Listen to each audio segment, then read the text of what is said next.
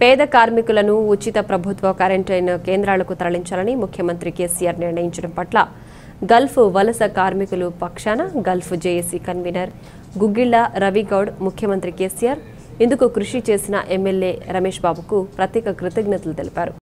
Corona నేపథ్యంలో Gulf దేశాల్లో చిక్కుకున్న వలస కార్మికులను ఆదుకోవాలని వారిని స్వదేశానికి రప్పించాలని ముఖ్యమంత్రి కేసీఆర్ నిర్ణయించడం సంతోషకరమని Gulf JAC convener Guggilla Ravi Goud తెలిపారు. ఇందుకోసం తొలి విమానం కువైట్ నుంచి హైదరాబాద్ రానుందని తెలిపారు. మొట్టమొదటి ఫ్లైట్ కువైట్ నుండి హైదరాబాద్కు ఈరోజు రాత్రికి చేరుకోనున్నది. ఇందులో ఆంధ్రప్రదేశ్ తెలంగాణకు సంబంధించిన మన వాళ్ళు ఉన్నారు. ఇందులో వృద్ధులు పిల్లలు గర్భిణీలు తర్వాత కోవిడ్ కాకుండా ఇతర రకాలైనటువంటి కొన్ని వ్యాధులున్నవారు ఉద్యోగాలు కోల్పోయిన వారు వస్తున్నారు. వీరందరికీ కూడా మేము స్వాగతం తెలుపుతున్నాము.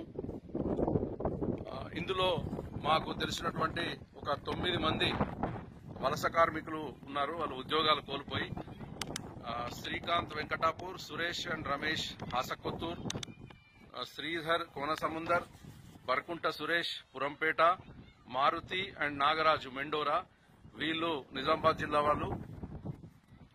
తర్వాత అబ్బ రాకిన తర్వాత క్వారంటైన్ ఖర్చులను రాష్ట్ర ప్రభుత్వం భరించుకోవాలన్నది మా ప్రధానమైన డిమాండు. అయితే తెలంగాణ ప్రభుత్వం మా డిమాండ్ను కొంతవరకు ఒప్పుకుంది. మేము ముఖ్యమంత్రి కేసీఆర్ గారికి ఆరు తెలంగాణ ప్రభుత్వం తర్వాత ఈ ప్రభుత్వ అధికారులకు ముఖ్యంగా వేములవాడ ఎమ్మెల్యే రమేష్ బాబు గారికి ప్రత్యేకంగా కృతజ్ఞతలు తెలుపుతున్నాము.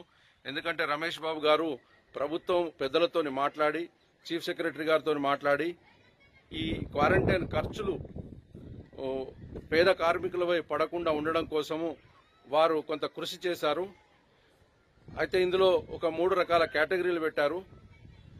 పద్నాలుగు రోజులకు గాను ముప్పై వేల రూపాయలు పదిహేను వేల రూపాయలు ఐదు వేల రూపాయలు. అంటే ఎవరైతే పేమెంట్ చేసుకునే కెపాసిటీ స్థాయి స్తోమత ఉందో వాళ్ళు డబ్బులు కట్టి ఉండవచ్చు. తర్వాత ఎవరైతే పేద కార్మికులు ఉంటారో వాళ్ళు ఒక్క రూపాయి కూడా కట్టవలసిన అవసరం లేదు. వాళ్ళను ప్రభుత్వం యొక్క క్వారంటైన్ సెంటర్లకు తరలిస్తారు.